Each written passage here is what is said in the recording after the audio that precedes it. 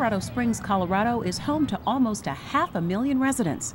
65 miles south of Denver, Colorado Springs offers beautiful landscapes, mountain vistas, county parks, and nearby national forests. But this natural setting also places thousands of lives and properties at risk to wildfire. In Colorado Springs, we have uh, identified 35,360 addresses in our wildland urban interface. And our urban interface covers 28,800 acres. And so, because of that population density, we knew that we had a serious threat in Colorado Springs. And on June 23, 2012, conditions were so hot and dry that when the Waldo Canyon fire started in nearby Pike National Forest, life would quickly change in Colorado Springs forever.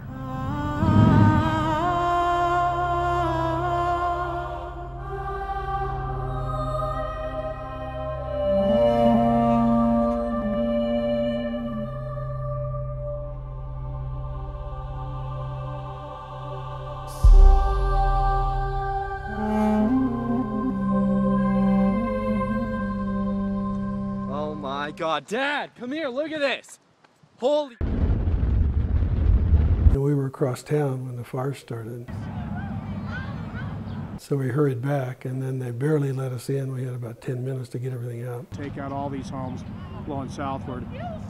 Just three days into the fire, a large thunderstorm developed.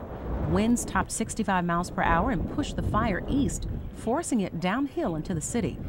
As smoke blanketed the entire region, more than 30,000 residents and area business employees quickly evacuated. One of the saddest days. During the Waldo Canyon fire, we did have three neighborhoods that were threatened, including Cedar Heights, Peregrine, and of course Mountain Shadows. That whole street is just gone. We had businesses on very large magnitude from call centers to data research centers to data centers to many other facilities that were in the evacuation area and they had to leave. According to firefighters, the fire moved across the terrain at two miles per hour, blowing embers and igniting spot fires up to half a mile away. A lot of the primary fuels were the houses, so the ignition was house to house in a lot of cases. It really turned into an urban conflagration. Working together, the police and fire departments and emergency management established traffic control points and developed evacuation zones for residents based on the fire's behavior. We had several go bags and pictures and documents and stuff all set to go, so we just had to load it in the car and take off. We had commerce that was interrupted. We had international businesses that were affected for several days. Those corporations didn't know if they could go back. They didn't know if their facilities were damaged. Throughout Tuesday evening and into the night, 345 homes were destroyed. Two civilian lives were lost, and thousands of lives and businesses were impacted. There are several people that go to our church out at Mount St. Francis who lived in mountain shadows. And uh, indeed, 20 years. 20 years. Had it built. their homes were totally destroyed. What unfolded in Colorado Springs was tragic. I don't know what we'll salvage. Yet, damage to the city as a result of the Waldo Canyon fire could have been far worse.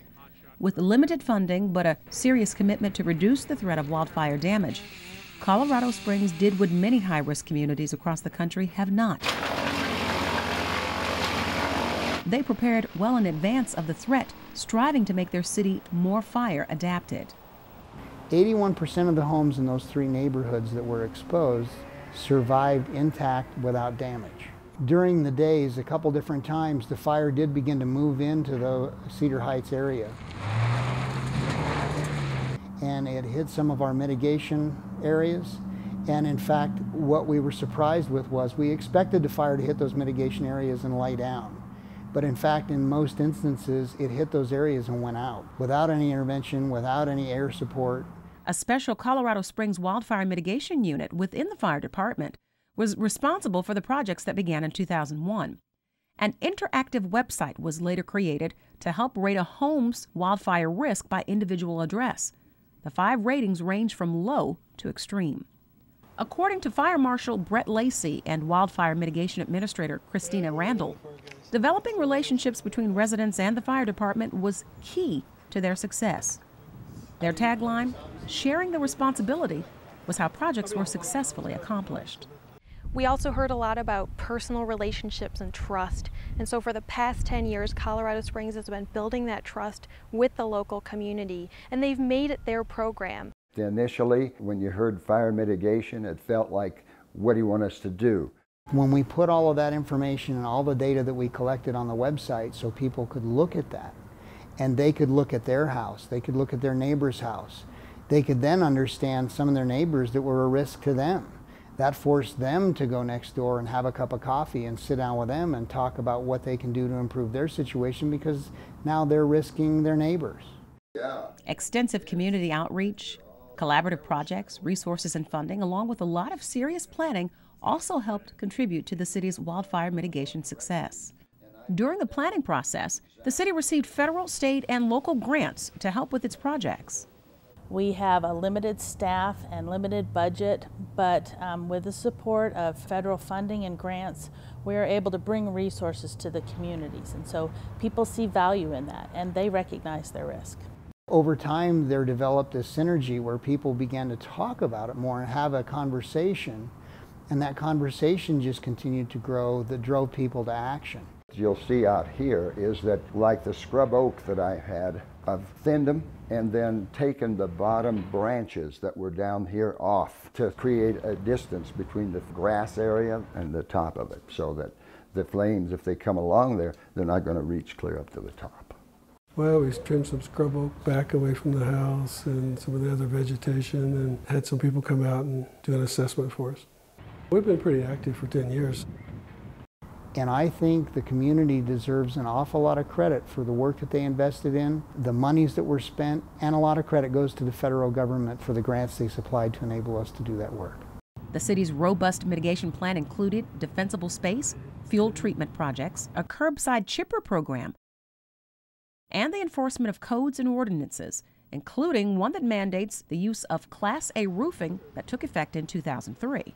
And while it was tragic that we lost the two lives, and it was tragic that we had the damage to 380 some homes and lost, you know, 340 some, the benefits to a lot of the community that still stand and that the homes that did survive and the way that fire was able to move through that neighborhood and not wipe out an entire development stands as a true testament to the benefit of wildfire mitigation. The communication, the work the homeowners did, everybody in that system's approach, doing their part. Key partners work together to address wildfire protection of critical assets such as utilities and water supplies. Our watershed efforts are pretty focused. We have a, a long-standing partnership with the Colorado State Forest Service. Uh, we've got a management plan for uh, approximately 15,000 acres on those properties and every year we, we manage to get about three to 500 acres treated up there doing forest restoration projects and I think that continued direction forward is, is something important for any utility and, and fire department to, to keep in mind. It takes the operation side, it takes the planning side, it takes the cooperation side. All of those things have to come together for a successful event and I think we were all counting on the work that we had done to help us 2012 will be remembered as one of the worst wildfire years on record. Warmer temperatures, minimal snowpack, and increased fuel loads are major contributors to the growing number of wildfires we see each year.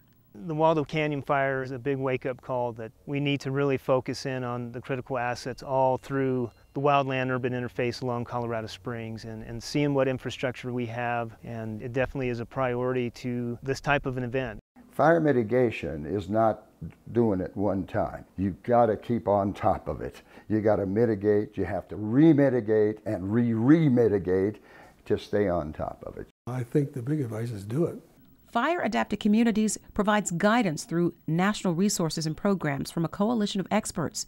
These resources include community wildfire protection plans, FireWise communities, Ready Set Go, and many more valuable sources for wildfire safety information.